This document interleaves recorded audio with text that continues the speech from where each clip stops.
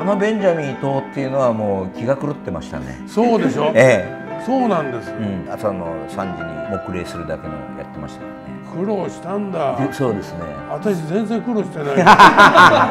そういう意味ではね、スルッと走ええ、ドラフト1位みたいなもんですよね。全く。はい、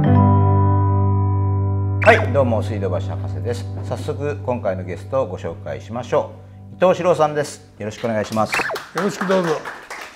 記載はい。記載水道橋博士に。記載ではないですね、えーでもらってあ私もね自分を褒めたい。いやそんなことないです。とんでもないですよ。いや本当に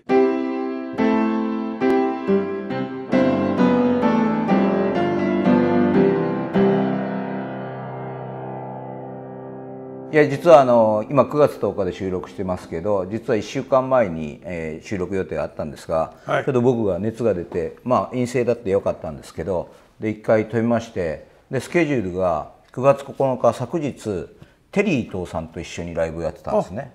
あでテリー伊藤さんとライブをやってで今日伊藤史郎さんとライブをやるっていう、まあ、本名伊藤輝夫にに2夜連続っていう、二夜連続ですね。はい確かね干支も一緒なんですよ。あそうですか。じゃあ12歳違いですか。さ12歳違いだと思います。あ72歳と84歳になはいるのかな、そうです。はいはい。だからなんだって言われるといやいやいやだからなんだですけどお互いまあ一字違いっていうか読みは一緒ですけど同じ名前で芸能界で意識されたことないんですかっていう話を楽屋でしてたんですね。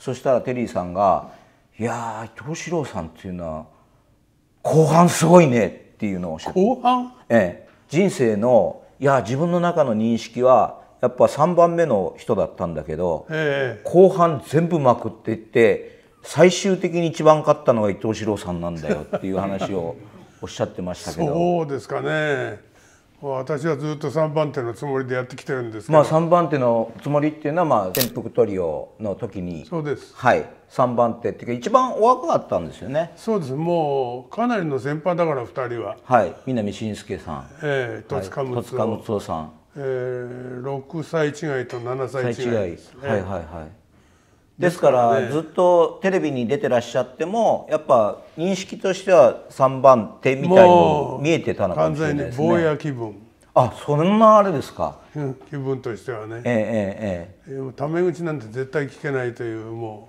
あそれぐらいあれだったんですか？うははーってなもんです、えーだけど南信介さん52歳で亡くなられて早く亡くなられたあの印象まあ僕なんかもありますけどやっぱあの最後の喜劇王っていうようなニュアンスがありますよね。自分でも最後はその気になってたんじゃないかと思いますよ、あの舞台を最後はやってはい、喜劇王と言われたかったと、えええお墓にも確か書いてあるんえ、じゃな喜劇王と書かれてるんですか？えですからもう喜劇王という言い方自体が今のね世の中にはないと思うんですけれどもそれはチャップリンがいてエノケンがいてっていうロッパがいてっていう意味で喜劇をやる人というのはまあ舞台を制してえそうですね、ええ。舞台です。そして座長をはい。持って劇団を率いて喜劇王と呼ばれそうるとなんです。喜劇役者っていうのはテレビではなくはい。舞台ですね、はい。どっちからと言えば、ええええ。で喜劇役者っていうジャンルの中の天下を取ったものを喜劇王と呼ぶっていうことで言えば、だから南信介さんなんかテレビの世界でももちろんあの『笑点』の司会をされたっていうことも大きいし、あのデコボコ大学校をやり「スターマル秘ドッキリ報告」をやり、はい。もう45番組ですね転覆劇場も、はい。NHK もありましたし。ええ転覆小劇場。小劇場ですよね、だですから漫才ブーム以前の天下を取っていたっていうかそのテレビの世界の王様でもあったっていう時はありますよでしょうね。まあ我々の年代のおトリオだとか漫才の中では一番年上だったしはい。なんか自分でも引っ張ってるなみんなをっていう気持ちがどっかにあったんじゃないですかね。うんですからでも52歳で亡くなられてるんで今の人はもう南信介さんがちょっと分からなくなってるしまあ僕なんかそうでしょう。59歳なんで全然私でさえ分かりませんよ。分かりますよそれ。忘れ忘れていくっていういやいやえーでももちろんだから電線温度なんて言っても知らないし。ああそうですかね。少なくとも50歳ぐらいの人以下の人は知らないでしょもそうなのかもしれないですう小ね松とやってたええコントなんかもみんな知らないと思いますよ。ただ今 SNS で YouTube なんかあるんで、はい。ちょっと歴史を紐解こうと思えばその木さえあればずっと遡っていけますよね、あその気さえあれば、ええ。はい、僕なんかあのだから子供の頃から割とそういう喜劇史みたいなのが好きなんですね。え。だからまあ僕も浅草フランス座で修行するんですけどあの唐突に浅草フランス座に行ったのではなくいわばこの日本の喜劇人中原由美彦さんになってます。小林信彦さんですよね、はいはい。この本を読んでああいう喜劇の世界であるとかもちろんたけしさんなんですけどビートたけしに憧れて朝フランス座に行くっていう物語をたどりたいっていう気持ちはあったけれどもそれ以前の歴史そのものもずっとこう憧れてたんですよねえ。ああフランス座にも憧れてたんですか？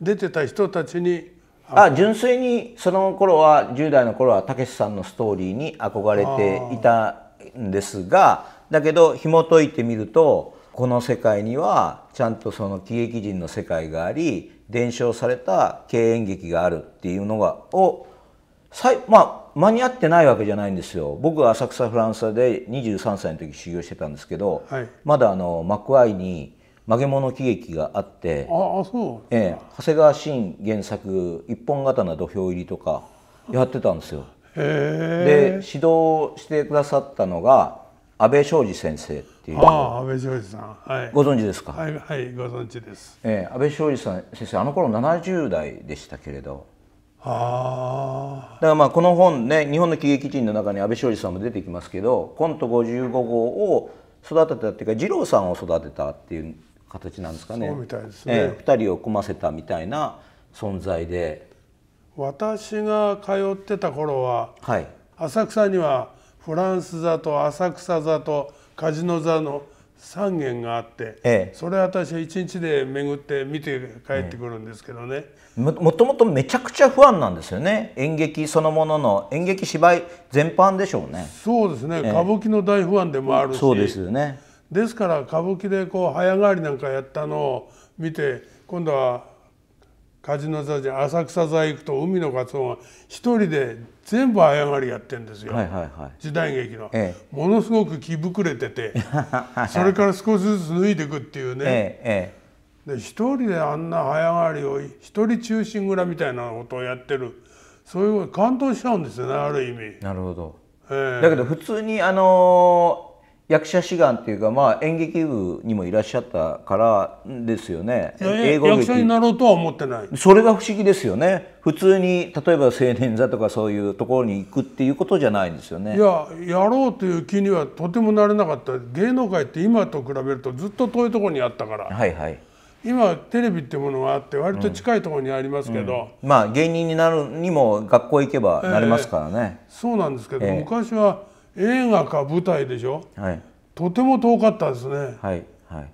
えーですから私はサラリーマンになるのが親孝行だとずっと思ってましたんで。えでそれを全部断られたんえで、ええ。就職ができなくて。はい、はい。なぜ就職できなかったのかっていうとあんまり言いたくはないんですけどね、学科では入るんですけど、え面接で落ちるんでえす、えあの 顔つきが悪かったっていうそれよくおっしゃってますけど。はい。えそれで全部落ちてええ。もう行き場がなくなって、ええ。で兄貴のつてで早稲田大学のえあ生活協同組合生に紹介してもらって、え牛乳の蓋開けの仕事をずっとね、えうんえー時給30円で。はい。だから何かのきっかけがなければずっとそれやってた可能性もあるんですよやってた可能性あねりますね、ええ。ええ。そのきっかけっていうのがやっぱり石井金さんなんですよ。石井金さんは浅草フランスじゃなくて新宿のフランスさんにいらっしゃったんですよね。そこに僕は必ず自分の定席を設けて、ええ。必ずそこに座ってたらはい舞台の上から有名人になっちゃったんですよ、はいはいはあいつまた来てるあいつまた来てるって、はいはいそれで帰る時に階段降りる時に楽屋の窓がパッと開いて「おい寄ってけって言われて、ええ。それがきっかけですね。そんなのまずまずない話じゃなないいですか。ですね。だから私は世の中タイミングだと。うん本当にそうですね。それをそういうものがあの近づいてくる人とえ。全くない人とええそれから近づいてるのにつかめない人といるんじゃないかなって後々思うようになタイりましたね。ミングと慎重に無責任ですよね。そういうこともね。なんかポンとあるんですよねそういうことが。えでもえ、それ本当に23秒違ったら私行っちゃいましたから。確かただあちらも窓開けるのをタバコの煙出すために開けただけで私を呼び止めるだけじゃつつもりじゃなかったらしいんですよ。だからその辺もねタイミングというかで開けて目があって寄ってけって言われて寄っていくようになって今度俺石座を持つようになるんだって言ったらそちらにも行っていいですか?」ってはいああ来いよ」って言ってで言ってたら今度は「ちょっと出てみるか?」っていうことになって、幕が開いた途端にセリフなしで口笛吹いて公衆便所から出てきて去っていくっていうそれだけの役だったんですけどそれが最初なんですね。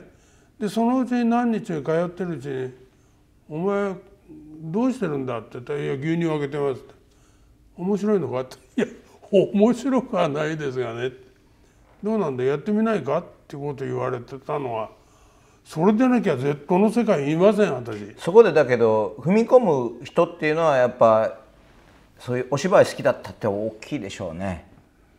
そうですね。あのなんだろう。お芝居見に行く時のワクワク感って。はただ自分はやろうと思わなかっただけで大好きでしたね。ですから歌舞伎なんか見に行く時には歌舞伎高いですからね。い当時も高かったでしょうね。時給30円じゃ見られません見られませんよね、ええ。それで犯罪を犯してまで入ったという。犯罪をというかまああれですよねかあの裏口からどんどん入っていどかれてんどん入ったんですてって、え花道の下通って、はい。揚げ幕から裏へ出ちゃうっていうね、ええええ。そういうこと。とか何でしたっけ？持ち持ち込み技術さんの持ち込みのふりして入っているとか。そうですそうです、ええ。俺は演技力が必要でね、ええ。裏方さんのふりして入っていくんですよね。売店の人になりすましたりトラックの運転手にええ。なりすまさなきゃいけなかったし、ええ。でも振り返ってみれば今ドキドキもんだけど楽しかったなあ。でももしかしたらそういう人って見破っててもテケツの人とかそうかな。ええ、そういうなんか熱心なお客さんって僕もフランスでテケツのとこいましたけど、ええお金がなくても毎日来る人ってあのどうぞっていう見て見ぬふりしてましたね。そうか俺も見透かされてた、いう可能性もありますよね。そんなあの若くてそうやって歌舞伎を熱心に見るっていう人、やっぱいないじゃないですかそういう人がなかなか。そうですね、ですからあの早稲田にいる頃早稲田祭で芝居をやろうってことになって自分らで書いて落語を元にしたお芝居を書いて尾上松緑さんと二代目そうですよね。見てもらおうぜ、いいねえそれそこも大胆不敵ですよそね。うなんだよねすごく僕あれ読みながら呆れましたもん。そうでしょ、え途中がなくていきなり松緑さんっていうのえがね、ええそれで行こうって「うんそうしようそうしよう」って台本持って行って土砂降りの中学生服着て長靴履いて歌舞伎歌舞伎座の楽屋を訪ねてったわけですからね、それは向こうも嫌がりますよあの番頭さんは「何なのあんた方は」って「いやいや松緑さんに会いたい」「会いたいってなお前。今日はダメだ帰りなさい」って言ってるとこへ入ってきて松緑さんが。はどうしたんだ?」いや早稲田の学生さんらしいんだけど今断りましたから」って「バカ野郎学生大事にしなくてどうするかい。そこですよ。すごいね？やっぱ演者の方そのはそういう辺がすごいですよね、えええでそのそういうことをされた人は一生覚えてますもんね。お本当ですよ、それでさあさあお上がんなさいっつって、びっちゃびちゃの体を上げてくれて 台本読んでくれて、うんすごいと思う。ねえお女方が出てくるのが、うんじゃああの女方呼んでやるからって電話かけて呼んだりなんかして、それで教えてくれて、じゃあ今日見てくかって。えはい。「えいいんですか?」って「おお見てこいあの今日は一本型の土曜日だから」って言って。絶品でした。ねえそりゃそうですよ。絶品っていうかもうその日の体験自体が忘れられないですよ。一日全体がね芝居を含めて、よくそんなことをやったな、えー物語ですよね本当に。はい。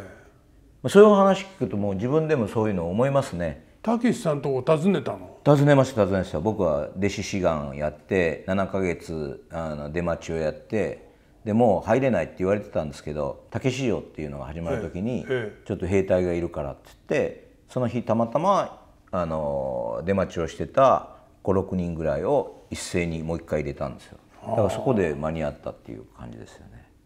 それ断られてたらどうなってます？いやーでももう置いてもらうために必死でしたからね。だってもう7ヶ月間も毎日朝の3時に立って黙礼するだけのやってましたからね。苦労したんだ。でそうですね。私全然苦労してない。そういう意味ではね、スルッとええ、ってる。ドラフト1位みたいなもんですよね。全く。はい。ああ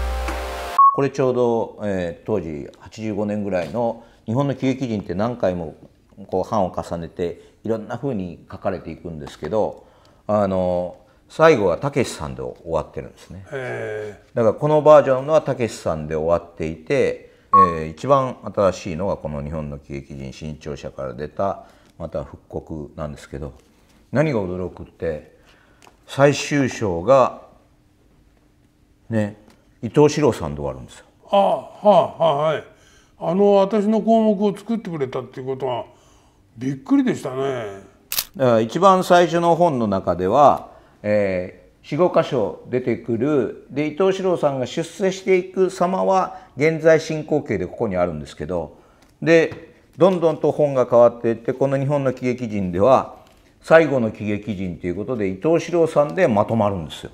すごい。すごいですよ。本の中でこんな出世する人は初めて見ました。どうなんだよ。ちょっと珍しいですよね。だからその本が生き続けたこともすごいしその中から番手がどんどん上がっていくっていう過程を。ですね。要するに3番手として見れてた人がなんかいろんなことをやりだしてるってことは愉快だったんでしょうね。そうでしょうね。だから、まあ、この中の描写で伊藤四郎さんはテレビの黄金時代に最後に間に合った人なんだっていうことも書かれてますよね。ですからあのあの問題の電線温度なんかもね、はい私はもういもうなんでこんなことやんなきゃいけないんだっていうことでやったんですよ。まあ一応ややったにしてはきっちりや自分ではやったつもりなんですけどそれでも非常に恥ずかしいなと思いながらやってたらそのオンエアした日に電話がかかってきたんですよ小林さんから。あそうですか。で恐る恐る何言われるかと思って「はいはい。もしもしどうしました?」って言ったら「すごい伊藤ちゃんあれはサルバドール・ダリだ」あなるほどね。まあ誰ですもんね、ええ、メイクがそんなあれはね誇るべき面白さ、お大いにやるといいなんて励ましてもらって、ええそれからはもうえなん遠慮することなくやりましたね。まあ、ベンジャミン伊藤っていうあのキャラクター小松政夫さんと共に組んでやってるんですけど「見頃食べ頃笑い頃」っていうもともとあれキャンティーズの番組ですもんね。そうですね、えはい。その中のワンコーナーっていうかどんどんとあの小松伊藤コンビがどんどん侵食していって乗っ取っちゃってっ取って子供心ににもあのベンジャミン伊藤っていうのはもう気が狂ってましたね。そうでしょ、ええ。そうなんです、ですから仲間内でもあいつは行っちゃってると思われたっていうことは、私にとってはあいいんだこれで、とても力になりましたよ。もう本当にねあの藤田誠さんなんて「あんた大丈夫? 」真面目に言われましたね、まあまあそれまでね普通にきっちりとあの喜劇をきっちりやられてきたから、あそこまでの狂気の様っていうのは、はい、壊れすぎてますからね。ええあれとか本当俺は復刻したくて自分で YouTube であの電線マンだけずっと踊ろうかなっていう。ただただ狂気であれだけやってるっていうのは面白いんじゃないかなっていうね。ええ。でも本当あれは1年やられたんですね。あのねずっと局としてやりたかったらしいんですけど、ええ。私が早くやめようって言ったんですよ、こういったものをねやってるうちにどんどん人気がなくなってくるのは惨めだからいいいいよって拍手をされてるうちに辞めるのが粋なんだからさ辞めようよっつって1年ぐらいで辞めちゃったんじゃないですかね。そうですかえ僕はあの関西在住岡山だったのであの電線マンっていうのはちょっと不思議に思ってるのは桂三枝師匠が電線マンのあの曲って当時、えーヤングオーで歌ってたんですよね。あそれはねえ見頃食べ頃笑い頃の中のコーナーなんですけど、ええ。それができる前にええ。町内会っていうコントがあって、ええ。三枝さんが出てたんですよ。あそうですか。そこその一周だけですよ。あそうですか。それで、えはい、じゃあ次は、はい、町内会長なんてわーってやってる時に、えええいきなり言われて仕方なくえ。え「電線に」ってやったぱのが最初です。三師匠が一番最初の合ってるんですか？ですからこんなことはなしで。なしでもちろんそうです。普通の衣装で。ええそれで途中ですぐやめやめさせて「面白くない」なんつってみんなでやめさせたりなんかしたのが最初ですよ。じゃあそれをプロデューサーがああそうですか。これを大きくしてやりたいって言い出したのは電線温度です。あそうですか。じゃあ僕記憶は間違ってないんですねはい、だからその関西の番組でこのあのを歌ってたことを記憶にあるんですよ、合ってます合ってます。へえあそうですか。はい。じゃあ共作っていうかあれなんですね。もともと三枝師匠のはい、曲なんですね、はい。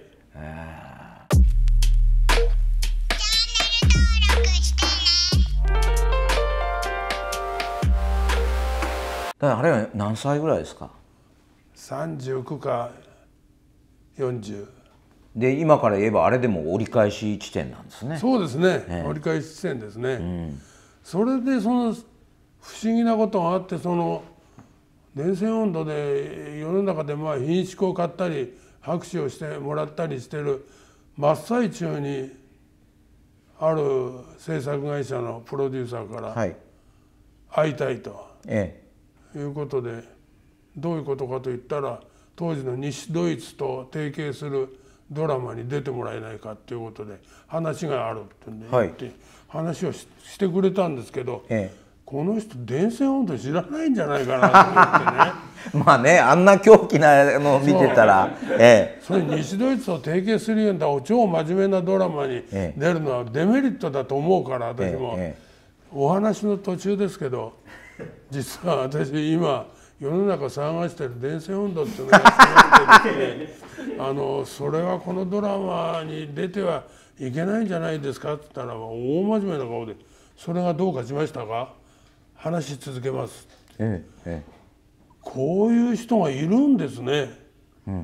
だから私は全く別人格として話をしてくれてるっていうことをね、それからそういうものが味方になってるなと思うことが随分ありましたよ。だっておしんだってそうですもんおしんの父親だって。えおしんベはもうンジャミンの片鱗があるものを使いたくないですよあんまり。まあそのあれですねイメージがついてたらあれでしょうね1年で辞めたからよかったようなものの、はいあのおしんと同時にあれがやられやられてたら日本中パニックになりますね あなんか理解できないですもんね そうです。でもおしんなんかもう世界的なソフトになりましたから世界中で知ってますよねそうですね。であの海外にも行ったことがあるんですよそのその最中に。はいはい。そうするとパスポートにこうこれしてくれる人がいるじゃない、はい。外国で、えその人がねこうやって持って。え 見覚えがあると。それどっかで知ってるんだけどさ、えあの風天が違うでしょ？えはいはい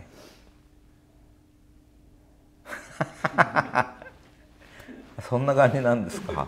そんなこともありましたね、ええ。あれは絶対美味しいんですよ。そりゃそうでしょうね。ええ。